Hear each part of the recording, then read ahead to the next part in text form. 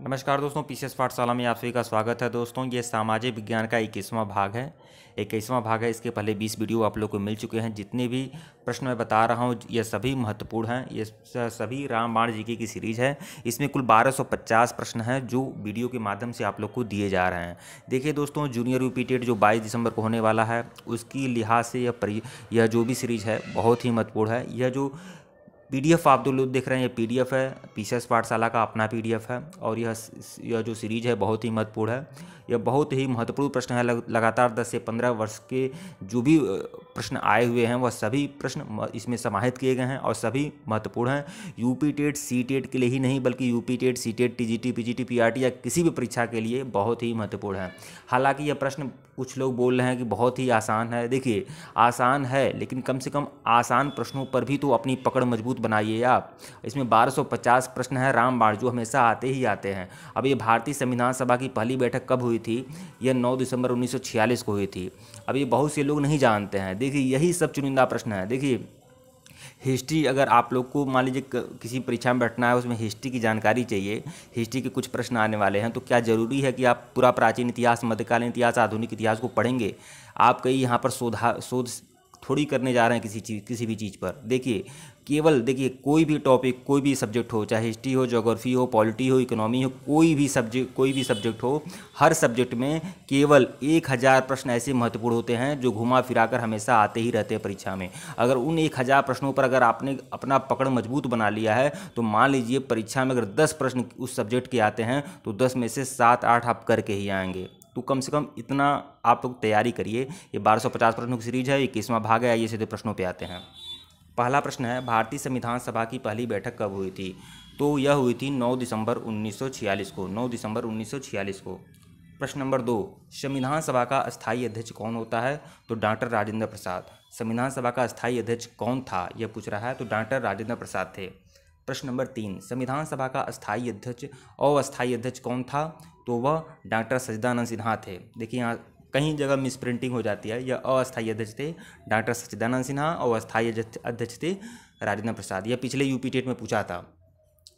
इसीलिए मैं कह रहा हूँ कि इस तरह के प्रश्न बहुत ही महत्वपूर्ण होते हैं। प्रश्न नंबर चार, देखिए, संविधान सभा की प्रारूप समिति के अध्यक्ष कौन थे?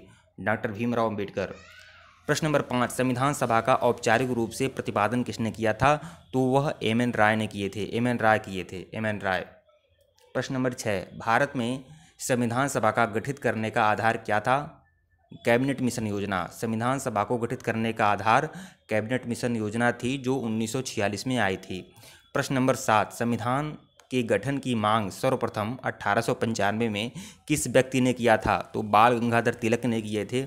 बाल गंगाधर तिलक, लोकमान्य बाल गंगाधर तिलक अठारह सौ पंचानवे में मांग किए थे कि संविधान का गठन होना चाहिए। प्रश्न नंबर आठ देखिए, संविधान सभा में देसी रियासतों की संख्या कितनी थी? संविधान सभा जो थी, उसमें देसी रियासत जो थे, वह कितने थे? तो देसी रियासत जो थे, वह सत्तर थे। प्रश्न नौ देखिए, संविधान सभा में किस देसी रियासत के प्रतिनिधि ने भाग नहीं लिया? हैदराबाद हैदराबाद ने भाग नहीं लिया।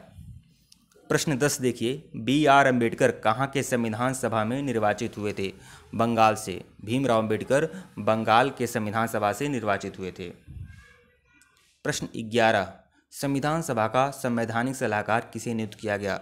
संविधान सभा का संवैधानिक सलाहकार बी एन राव को नियुक्त किया गया। बी एन राव को। प्रश्न बारह। संविधान सभा की प्रारूप समिति का गठन हुआ, कब हुआ था? 29 अगस्त उन्नीस सौ सैंतालीस को। संविधान सभा की प्रारूप समिति का गठन हुआ था 29 अगस्त उन्नीस सौ सैंतालीस को। प्रश्न नंबर तेरह देखिएगा। संविधान की प्रारूप समिति के समक्ष प्रस्तावना का प्रस्ताव किसने रखा था? संविधान की प्रारूप समिति के समक्ष प्रस्तावना का प्रस्ताव किसने रखा था? तो पंडित जवाहरलाल नेहरू रखे थे। प्रश्न चौदह। संविधान सभा की रचना हेतु संविधान का विचार सर्वप्रथम किसने प्रस्तुत किया था? संविधान सभा की रचना हेतु संविधान का विचार सर्वप्रथम स्वराज पार्टी ने, स्वराज पार्टी ने, जिसके अध्यक्ष चित्तरंजन दास थे और महामंत्री थे मोतीलाल नेहरू। इन्होंने स्वराज पार्टी ने ही 1924 में संविधान सभा की रचना हेतु संविधान का विचार सर्वप्रथम प्रस्तुत किया था, स्वराज पार्टी ने 1924 में। देखिए, यह भी प्रश्न बहुत ही महत्वपूर्ण प्रश्न नंबर चौदह। इसको इन सबको नज़रअंदाज मत करिए आप लोग। ये कुल बारह सौ पचास प्रश्नों की सीरीज़ है। इस पर कम से मैं ये नहीं कह रहा हूँ, ये पर्याप्त है यह पढ़कर आप पूरा कलेक्टर बन जाएँगे। मैं ये नहीं कह रहा हूँ, लेकिन यह आना ही चाहिए आप लोग को। इसलिए मैं कह रहा हूँ, अगर यह सब आप, अगर आप लोग जानते हैं तो समझिए अगर हिस्ट्री जोग्राफी पॉलिटी के जितने भी प्रश्न आएँगे, चाहे यूपी टेट हो, चाहे सी टेट हो, चाहे फिर या यूपी टेट हो, या सी टेट हो, या फिर शिक्षक भर्ती परीक्षा हो, उन सबको क्वालिफाई कर लेंगे आप। अच्छा खासा सहयोग या परीक्षा हाल में अच्छा प्रदर्शन करेंगे। मैं यह कहना चाहता हूँ। प्रश्न नंबर पंद्रह देखिएगा। संविधान सभा में भारत के संविधान को कब स्वीकृत स्वीकृत किया गया था? तो 26 नवंबर उन्नीस सौ उनचास को स्वीकृत किया गया था। देखिए, कुछ चीज़ें गलत लिखी हुई हैं तो उसको मैं बता दे रहा हूँ। ये 26 नवंबर उन्नीस सौ छियालीस लिख दिया है, गलती से हो जाता है। 26 नवंबर उन्नीस सौ उनचास को। संविधान को लागू कब किया गया था? तो 26 जनवरी 1950 को। लेकिन संविधान को सर्वप्रथम कब स्वीकृत किया गया था? तो 26 नवंबर उन्नीस सौ उनचास था। प्रश्न नंबर 16 देखिएगा। संविधान को बनाने में कितना समय लगा था? दो वर्ष, ग्यारह महीना, अठारह दिन। प्रश्न सत्रह, संविधान में कितने अनुच्छेद हैं? संविधान में चार सौ चौवालीस अनुच्छेद हैं। देखिए, बाद में कुछ अनुच्छेद इसमें जोड़े गए तो इसलिए चार सौ चौवालीस अनुच्छेद होते हैं, लेकिन मूल अनुच्छेद जो थे, तीन सौ पंचानवे अनुच्छेद थे। हालाँकि अगर तीन सौ पंचानवे है तो तीन सौ पंचानवे ही मान, मानिएगा। यह, मान लीजिए कोई भी एक चीज़ जोड़ी गई है, उसमें बाद उसमें कॉलम लगाकर अलग चीज़ जोड़ दी जाती है तो यह चार सौ चौवालीस है। हालाँकि मैं इसे नहीं इस तरह नहीं होता है तीन सौ पंचानवे अनुच्छेद ही होंगे। किसी अनुच्छेद को घटाया, बढ़ाया नहीं गया है, उसी अनुच्छेद में अलग चीज़ें अगर समाहित करनी होती है तो उसी चीज़ों में वन, टू, थ्री करके समाहित किया गया है। तो तीन सौ पंचानवे अनुच्छेद हैं। प्रश्न अट्ठारह देखिएगा संविधान में कितने अध्याय हैं? मतलब कितने भाग हैं? तो संविधान में बाईस भाग हैं, बाईस भाग हैं। प्रश्न उन्नीस, संविधान सभा में कितनी अनुसूचियाँ हैं? संविधान सभा में बारह अनुसूचियाँ हैं। संविधान सभा लिखा है, संविधान में कितनी अनुसूचियाँ हैं? तो संविधान में बारह अनुसूचियाँ हैं, बाईस भाग हैं, तीन सौ पंचानवे अनुच्छेद हैं। प्रश्न बीस, इस सीरीज़ का सबसे आखिरी प्रश्न है। प्रश्न नंबर बीस देखिएगा। संविधान सभा का चुनाव किस आधार पर हुआ था? संविधान सभा का जो चुनाव हुआ था, उसमें संविधान सभा में बहुत सारे सदस्य थे। वह किस आधार पर हुआ था? तो वह वर्गीय मताधिकार पर हुआ था। मतलब 10 लाख की आबादी पर एक संविधान सभा सदस्य का चुनाव हुआ था। तो वर्गीय मताधिकार पर मतलब इस प्रणाली को वर्गीय मताधिकार कहते हैं।